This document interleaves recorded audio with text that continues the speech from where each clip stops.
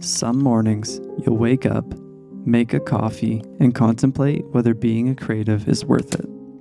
Worth the hours spent practicing when you could be doing other things. Worth the hours of effort it takes to make a two minute video for sometimes less than 50 views. Worth other people thinking you're wasting your time when you should be pursuing something that pays consistently. Worth the constant doubt and fear of failure. It can all feel like too much sometimes. It can feel like dreams like this only work out for people who aren't you. It can feel like everything's against you. Sometimes, you'll feel like quitting.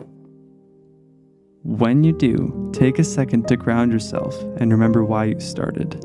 Take a second to remember that the one who made you is creative as well, and he planted that creative seed inside of you. Remember that the mountains that seem insurmountable to you, he has already conquered. Being a creative can feel very lonely sometimes.